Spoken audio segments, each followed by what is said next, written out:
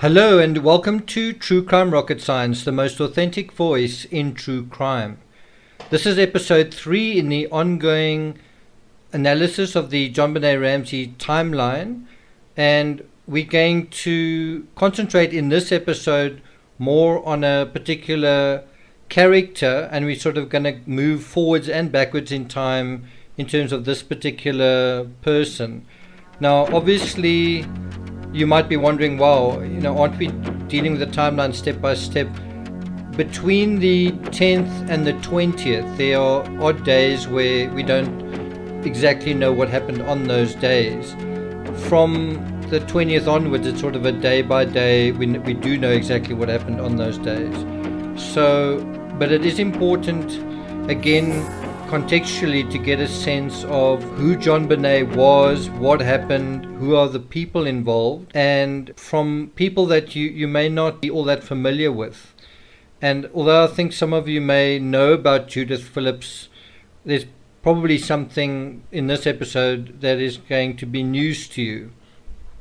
Now, you may have seen Judith Phillips in, I think it was The Case of JonBenét. I think it was the second episode, the third episode was eventually sort of culled when there was sort of like a legal, seemed like legal action was going to be taken. But anyway, Judith Phillips did uh, appear in that. I wonder if you can remember what she said in that in that episode. I think it was episode 2. So in this episode we're going to talk about Judith Phillips in 1997. So, after the fact, we're going to talk about Judith Phillips also. So, in October 1997, and then we're going to go a bit closer to probably around about February 1997, and then we're going to go into sort of a little bit earlier, sort of in 1996. Okay, so it's still dealing with a timeline, but it's dealing with it in a kind of a different way. Bear in mind, this is 24 years later, and we are looking at this case through like a rear view window. And all we're trying to do is get a richer picture than has been sketched in documentaries and the news media up until up until this point.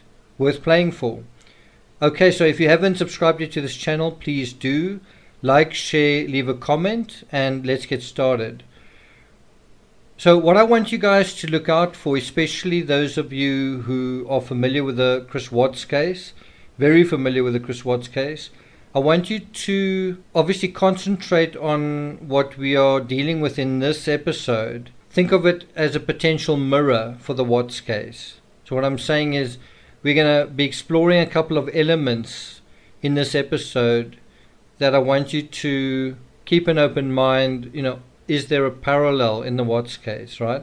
This episode is dealing with pictures, photographs, appearances. On paper, there's not much that is similar between the Watts case and the the Ramsey case. You could say they both had big houses, right?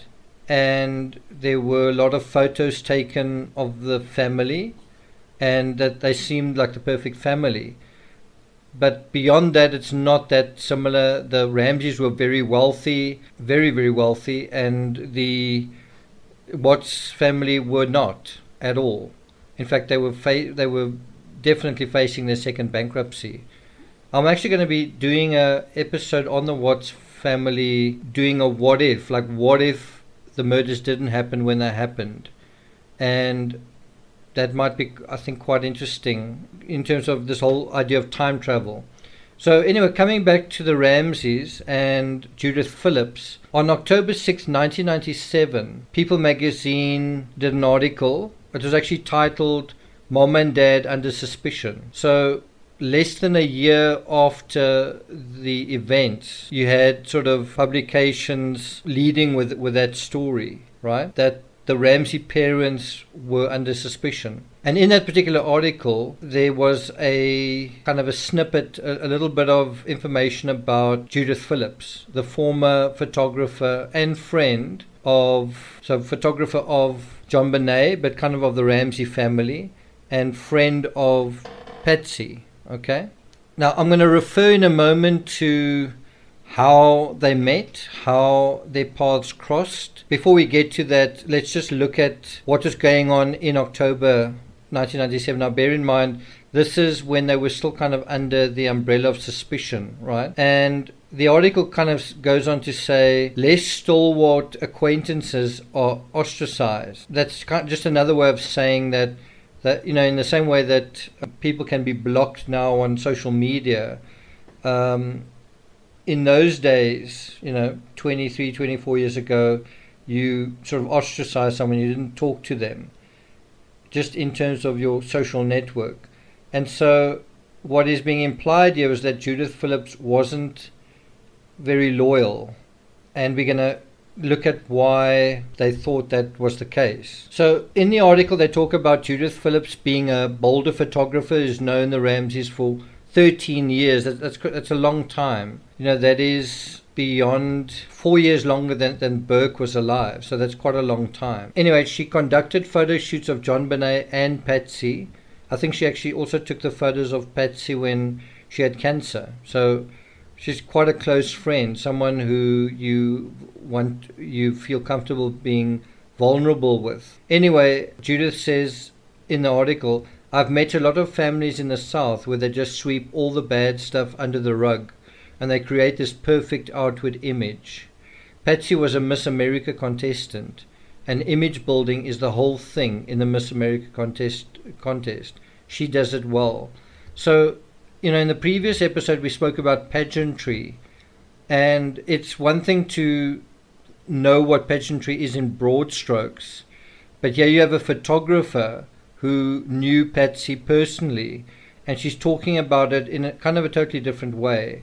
She's talking about almost like a the personality of some people in the South, where they, you know, it's sunny side up, being positive, sweeping the bad stuff under the rug, and trying to create a perfect outward image, right?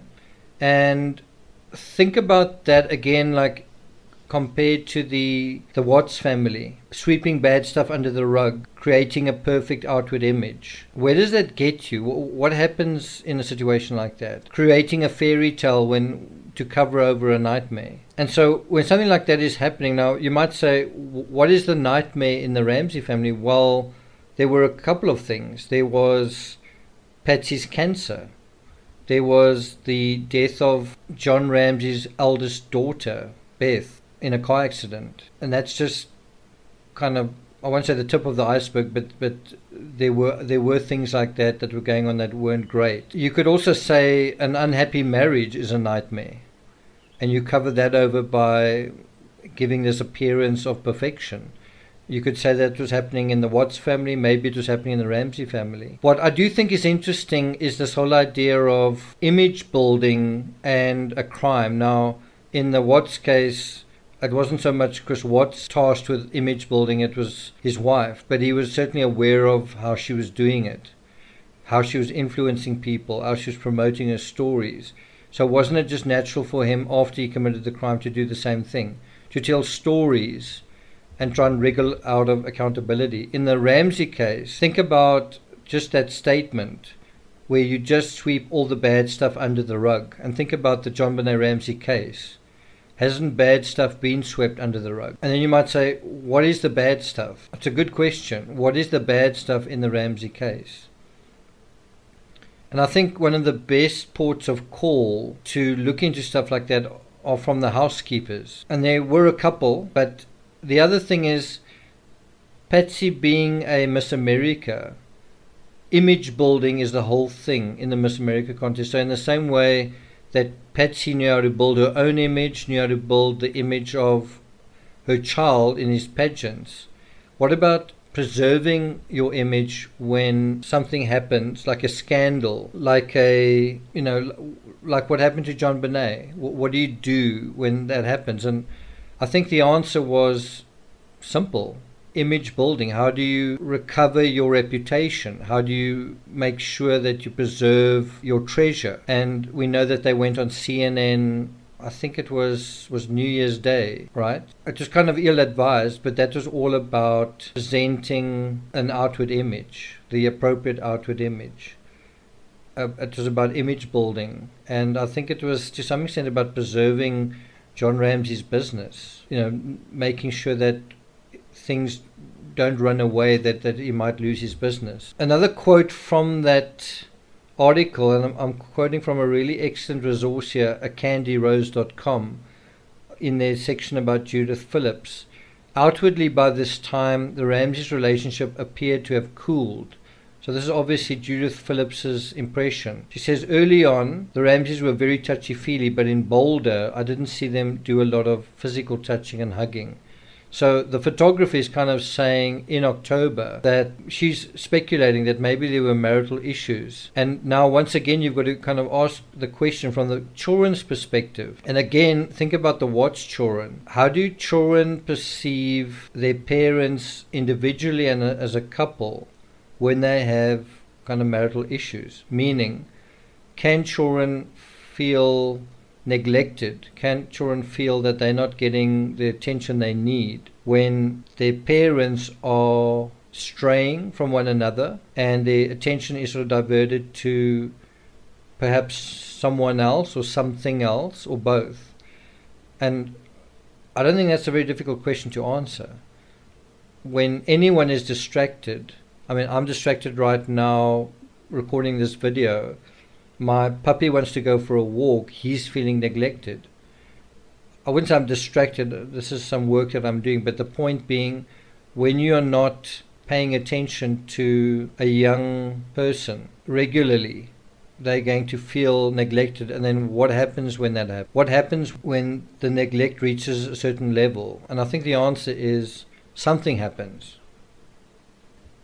if we go just a little bit further forward in time to February of 2000, she did a interview with Mary McCarty. Is it Mary McCardle Suma? And she she was asked something about JonBenét's hair being dyed. Now, bear in mind this is as a six-year-old. So she's asked, "Were you shocked about this? Her being her hair being dyed?" And Judith answers, "Yes, I was shocked." And I asked Patsy, you know, what did you do to JonBenét's hair? You didn't dye it, did you? And Patsy said, no, no, no, it was a, the hot summer sun in Charlevoix that dyed her hair. And she's asked, but, but wasn't it obviously bleached? And Judith laughs and says, yes, it was obviously bleached. It was obviously bleached. I thought, how stupid do you think I am? I didn't respond, but I thought, I said, oh, isn't that interesting? So that is just a interesting little anecdote where you kind of have the photographer, a woman, aware that that JonBenét's hair has been dyed. It's clear, and you can actually see in the um, Christmas party of the twenty third. I'm not going to put the picture up just yet, but her hair is very light. It's it's a, it's almost like a white color it's very, very light color. And this is in the middle of winter, of course. And children's hair can tend to fluctuate in color. But what is interesting here is, is the scenario where the photographer seems to believe that Patsy's not being completely honest. And even though she's quite sure that Patsy's not being completely honest, she doesn't really say anything. Just in a general way, think about dyeing a hair and beauty queens. Do you think that that is anathema to beauty queens? Do you think beauty queens themselves would dye their hair? Do you think beauty queens would dye their children's hair if they appear in pageants? Now, what's quite interesting, just a parallel with the Watts case, is just that Shanann's mother was a hairdresser, I think, and Shanann's best friend was an ex hairdresser and there was quite a lot of hair dyeing going on as well, you know, in that story. Anyway, I'm going to go back, take you back in time now, and we're going into Lawrence Schiller's book, Perfect Murder, of Perfect Town. Uh, we're on page 241, and what is quite interesting here is it's just giving a little bit of a description of how John knew the Phillips family.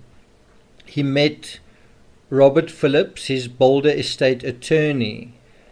Um, so that's how they knew one another. Um, Judith's husband was an attorney who was you know, uh, um, John Ramsey was his, a client of his. Um, and also their child, they had a, a daughter. Their, da- their daughter was sort of Burke's age. And so that was another thing that they sort of had in common. So I think it was in February 1997 that they saw each other, and Judith said that Patsy appeared to be heavily medicated. And during this encounter in February, Patsy started crying on Judith's shoulders. At this point, they were still friends. And Patsy said to Judith, if only I had woken up, if only I, I woke up. Why didn't I wake up? What do you think that that refers to when Patsy said that? Now, this is obviously assuming that this account is accurate. Um, if Patsy did say that, what what do you think she could have meant? If if only I had woken up. I would suggest that that when JonBenét screamed, her mother didn't hear her, and and that is what she's upset about. And I do think JonBenét screamed. Someone did say they heard a child scream in the middle of the night, a neighbor. We'll, we'll deal with that on in the events dealing with December twenty fifth.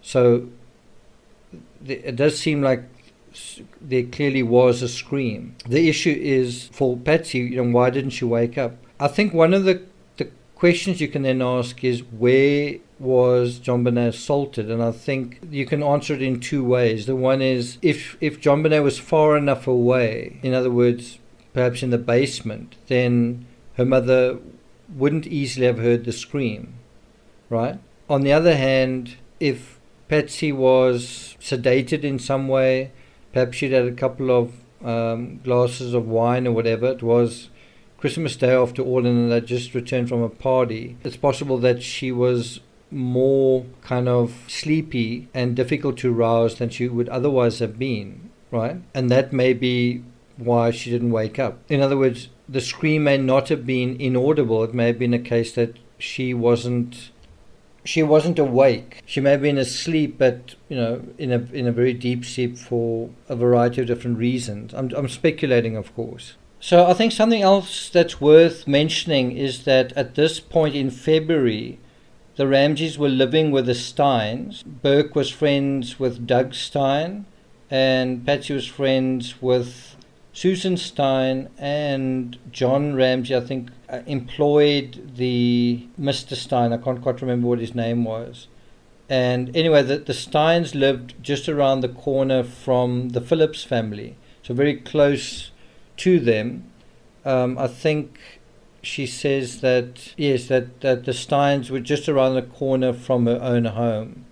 And so, in time, that the Steins would emerge as sort of stalwart uh, allies, friends of the Ramseys. So, going forward after the event, whereas Judith Phillips would later be ostracized. And you might ask why. I think one of the reasons why, and this is my opinion, is because I think Judith Phillips sold the photos that she'd taken of JonBenét or the family. It was either that she sold them or that someone got hold of them. But basically, I don't think the Ramseys were very happy that this case became as the public spectacle that it became. I think they were quite upset about being under the spotlight to the extent that they were. And, and a big reason for this was these photos. And you know, one of the extraordinary things about the John JonBenét Ramsey case is the amount of photos we've got of this little girl. If you compare it to even the photos of the Watts children, you know, these this is a girl who's made up, who looks like a princess, and just when you look at her face, you, you can't believe that what happened to her happened to her. So you can't kind of reconcile the pageantry, the you know this little princess, with the, the nightmare that actually played out. Just uh, it, it, they seem at odds with one another. And so, in the same way with the Watts family, where you kind of had grudges and resentments, you know, in terms of certain people, that also manifested in the Ramsey circle. You had people who were no longer allowed in the kind of inner circle, and I think the Whites were eventually excluded from that circle. And Judith Phillips was excluded from that circle, but the Steins were very much allies with the Ramsey family. So, just a final thing to mention Judith was infuriated. This is quoting from Perfect Murder, Perfect Town, page 242. She was infuriated when Patsy said in a CNN interview, Hold your babies close to you because there's a killer out there. And this was because her daughter, Lindsay, couldn't sleep in her bedroom for six weeks after she heard Patsy say that on TV. And uh, so Judith was very upset about that. And Judith was certain that John and Patsy knew more about John JonBenét's death than they were saying. She couldn't imagine Patsy murdering John JonBenet, but she could imagine Patsy being involved in a cover up. And that's just really Judith's opinion based on knowing Patsy. Is that she could imagine Patsy think just think about what a a pageant is. It's kind of covering up the faults and flaws in a person, dressing them up, you know, turning them into something else, making them appear different. Now think about that pageantry and something like a crime scene. Just think about the pageantry of transforming a person's appearance and what they can do on a stage. You know, it's a little girl who wants to play in the mud and draw on her arms and, and be silly and whatever, but as soon as they're on stage, it's a polished performance.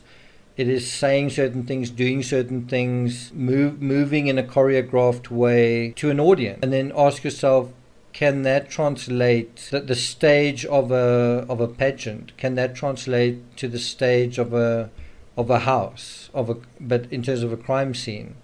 What do you think? So I'm not going to take it further than that. If you haven't subscribed yet, please do. Like, share, leave a comment, and I'll see you guys next time.